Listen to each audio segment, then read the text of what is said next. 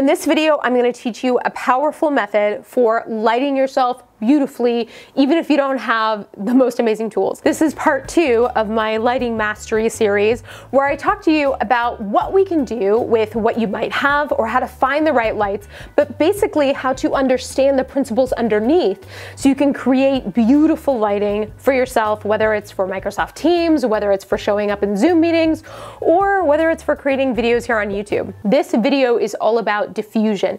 Now, if you've heard this term before, you're not quite sure what it is or how to use it, I'm gonna break it down, make it super simple, and show you how, once you understand what it means and how to do it, you can use everyday items you have around to really change the quality of light and make it gorgeous, darling.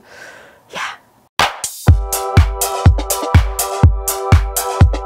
And if we're just meeting, hi, I'm Gia Goodrich. I am a content creator here on YouTube. I love teaching people how to show up confidently in video. I also have an amazing podcast, link below if you want to listen, hang out with me every week. But what's most relevant to this video is I have been a professional photographer for the last 15 years. I've worked with mega big brands like Nike, Adidas, all of this stuff. And what I've done is worked with thousands of people and created and sculpted light to make them look as amazing as possible. So if you're feeling inferior because you're showing up to these meetings, you're trying to work with what you have, you're maybe in a hotel because you're needing to travel for something and you're not getting that quality, you're not feeling as confident, this is the video for you. I'm gonna show you the tool of diffusion to help you sculpt and create any light so it is beautiful. But really quickly, before we dig in, I have a favor because I know you're generous and I know you're amazing. If you can just take a second to like and leave me a comment, not only does it feel good and sparkly and wonderful inside for me, because you know, I'm just as insecure as everybody else, so it feels great to read nice comments, but also it helps the algorithm. It tells YouTube that my videos are good and should be seen, so it helps more people find and engage with my content. So thank you in advance. You're awesome. I appreciate you. I don't know what these are about, but let's dig in. In the first video, we really went over the foundation of what a beautiful light is. And it's this acronym, SAIL, that you need to know, which is the type of light that's always gonna be amazing for you. Check this video out if you haven't seen it yet. I highly recommend. I go in specifically in what that means and why we want soft, angled from above, in front, and a large light source in order to light ourselves beautifully. And then I talked about the big rule, right? Which is never take a bulb to the face. If that doesn't mean anything to you, go back, come back. I'll be waiting for you here. But for those of you who did watch the video, Yes, okay, let's move on. One of the big issues when we are talking about lamps, we're talking about the sun, we're talking about different ways that we can light ourselves, is that it's always going to have a core light source. So it's always gonna have a center that's the most intense. You can think the center of a flashlight, and that is going to be the hard punch across the face, lighting wise, that we don't want. So what we're going to do is learn to diffuse light, which basically means that we're taking that harsh, harsh center and then that fall off and we're redistributing it. And what we're doing is spreading the intensity of that light out so that there isn't one super, super bright spot. To better understand how diffusion works, we need to talk about a guiding principle called the family of angles. In a nutshell, what it means is that for every light source, you're gonna have multiple angles of light that are gonna hit you in different directions. The smaller the light source in proportion to you, the more narrow that beam is. This is when we get harsh shadows, this is when we get lots of skin textures. The larger that light source and the more diffused it is, the more the light is scattered across that whole plane instead of having a big bright spot, the more those angles are just gonna like and really kiss your skin and your face face in a really flattering way. So let me show you how this works. Okay, just really quickly, chiming in from the future to tell you that I felt like this next section deserved a little bit of drawing to illustrate what I was gonna do. And thankfully, my amazing editor, Allie, whoop, whoop, is good at drawing. So if you see her hands that don't look like these, that's why. You have you right here, and you have this little desk lamp. And what's happening are these angles don't have very far there isn't a big range in what's hitting your face. So that beam in and of itself is going to be narrow, which means it's going to be harsh and all the things. So instead, let's back it up and start with a new drawing. You're here. There's still this little craptastic light source. If you put a diffusion material here, and you give enough room for the light source to hit it, it's going to hit it with all these different angles. What's going to hit you is this bigger range of all of these angles with an overall softness and intensity. That's what's going to create this really beautiful, even light. So how do we do this? Well, let's turn the lights out. Right now is a great example of what I see happening a lot of times where we have the cardinal rule being broken, never point a bulb to the face. I have one of these cute like Pixar lamps and in there is the bulb. And this is what I see happening a lot when people are trying to light themselves. They'll point the bulb right toward them.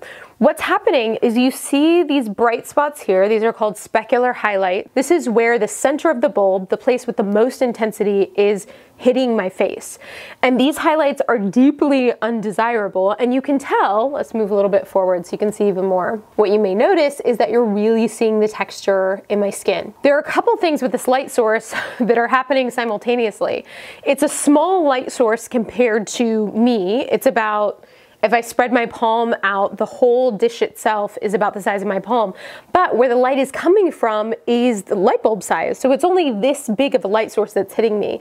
So it's going to mean that the light inherently is hard because soft light comes from a close, big source.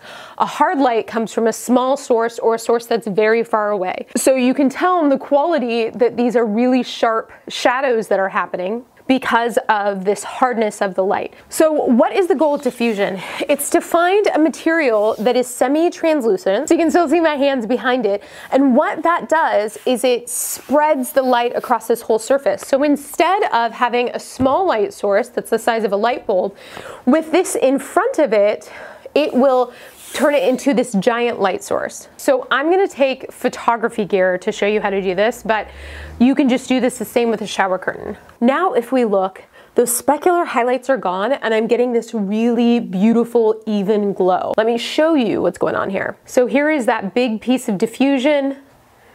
Behind it is my little light source.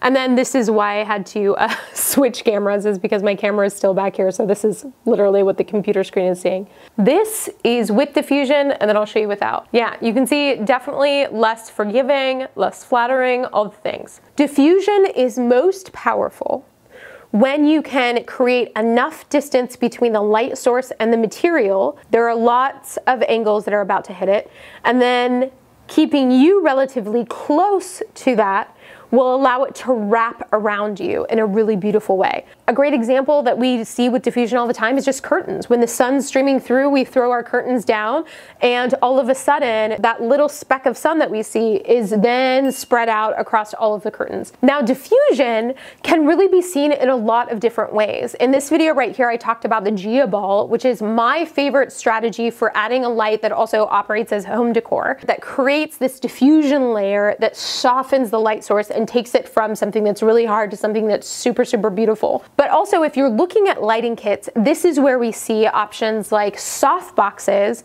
and shoot through umbrellas. Both of those are great ways to diffuse the light and take out that harsh hot spot. The one thing to remember is the mistake a lot of people make is when they're using an umbrella is they'll keep the light bulb really close to the end of it and still thinking the umbrella is gonna work. But that only works if you back the light source away enough so that that family of angles can hit it and then that diffusion material can spread it out even more. Now that we've covered diffusion, are you ready for part three? We're gonna talk about the bounce in the next video. Diffusion really means that you need to have a fair amount of space.